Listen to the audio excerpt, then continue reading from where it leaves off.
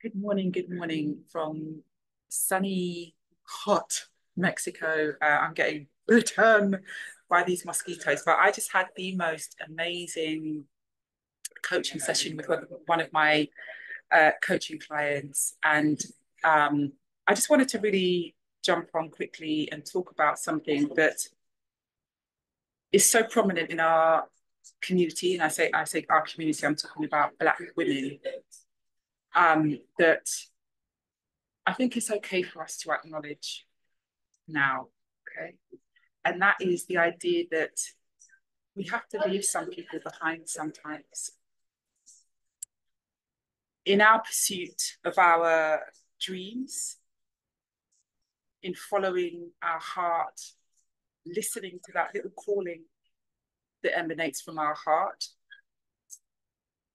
and doing the things that we're guided to do in life. And sometimes we don't know why.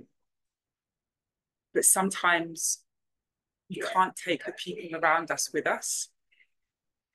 And that's not because we're better than them. And that's not because they're not worthy or we've outgrown them or anything like that, or they're bad people.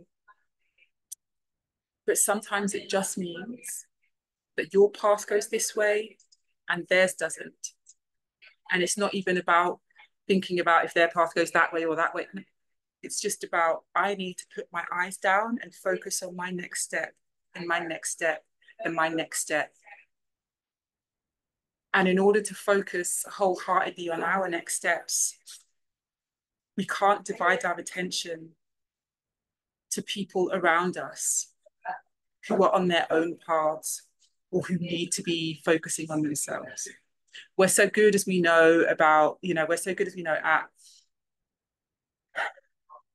bearing the burden, right? Bearing the brunt, helping out folks, or just being there, being the one that fill in the blank. Um, but I really think it's it's time that we allow ourselves to focus on ourselves. It's okay to hold the hands of people that you love and just say that I love you so much. I recognize the beauty of your soul. I thank you for your place in my life. But right now, I have to let you go and do your thing so that I could go and do my thing. I'm still here. I'm still accessible, but just not in the same way and let go of those hands. And that's scary sometimes because we're taught as Black women that we have to sacrifice. So, how dare you put yourself first? I think it's time we started saying, How dare we not?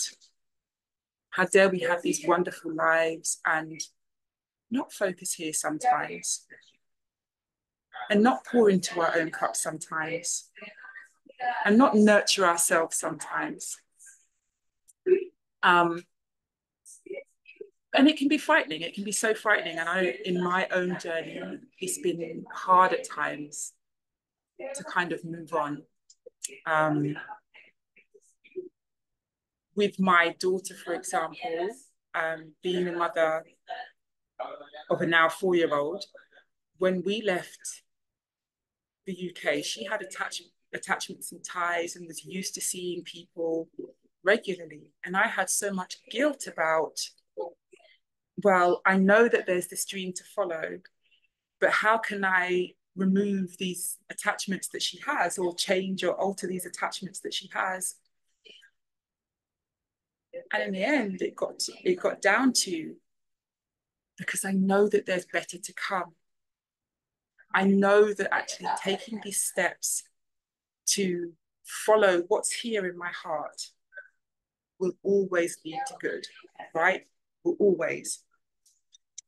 And actually, what happened is, ironically, some of those attachments and relationships that she had with people in the UK, some of them she's in more contact with now than she was in the UK.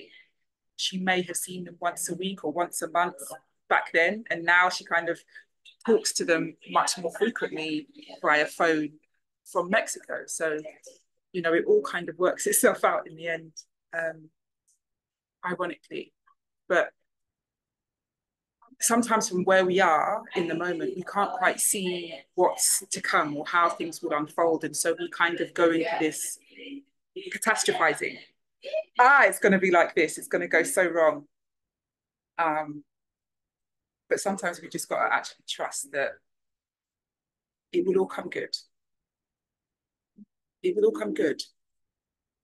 You know the saying, we didn't get brought this far just to come this far.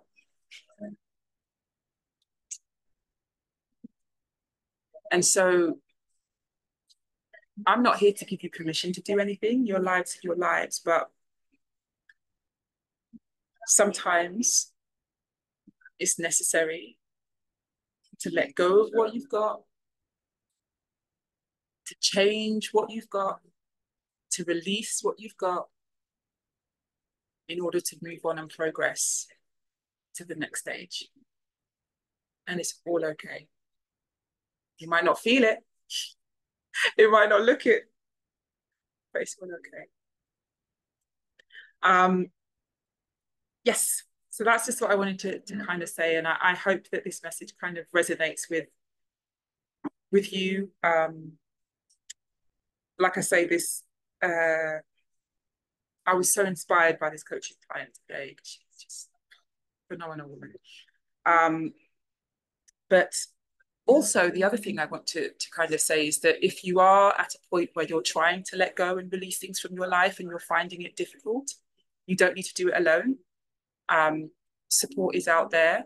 Um, I work with people through therapy and through coaching, um, supporting them to, sorry, I'm getting bitten up by mosquitoes out here, um, supporting them to sort of move forward um, and let go of what was, is to move forward to create the goals and dreams that people want for themselves, okay?